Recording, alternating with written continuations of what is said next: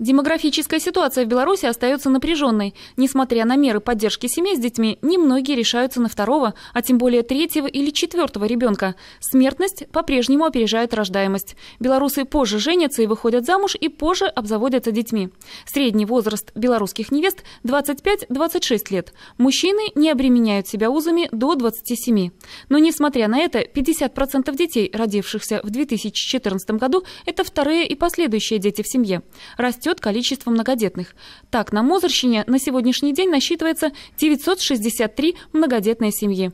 По сравнению с прошлым годом цифра значительно выросла. На 1 апреля 2014 года в городе и районе была 891 многодетная семья.